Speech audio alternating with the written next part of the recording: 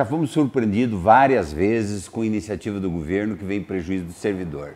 É, num dado momento foi aumento da alíquota, como se isso fosse resolver. Os servidores colocaram que isso não resolveria o problema é, financeiro da Paraná Previdência.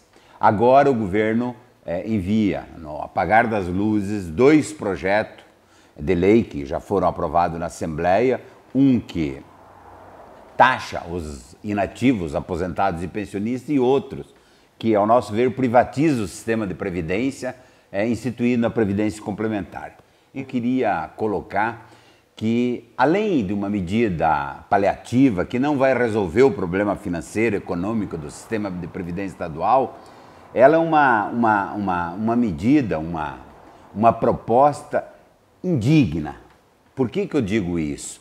Porque é um princípio é, é, de qualquer país que a, digna, a dignidade da pessoa humana é um norte verdadeiro na atuação do poder público. Nesse caso, você imagina uma pessoa, no caso das mulheres, 30 anos, no caso dos homens, 35 anos, que contribuíram para o sistema de previdência e, ao se aposentar, ainda continuarão contribuindo. Há que se destacar que é uma medida desumana. É, as pessoas, né, numa idade avançada, que precisam de medicamento, precisam de tratamento de saúde, enfim, precisam de recursos financeiros para sobreviver, nesse momento, como ocorre com essa medida, com esse projeto de lei aprovado pela Assembleia Legislativa, pelos deputados que nós elegemos e pelo governo que nós elegemos, quando eu digo nós, é, a população do Paraná, é, é, é, é vai ter uma redução salarial de aproximadamente 11%.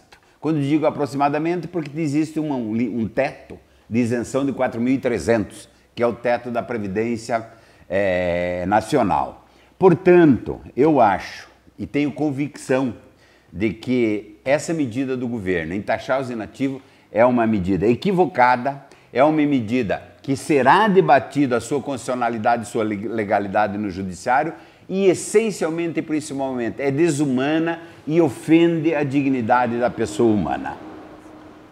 Esse mesmo governador que mandou o projeto de lei para a Assembleia e fez a sua maioria de deputados e deputadas votarem a favor desse projeto é o governador que, em junho ou julho desse ano, convida todos os aposentados para virem a Curitiba, que ele iria homenagear os aposentados.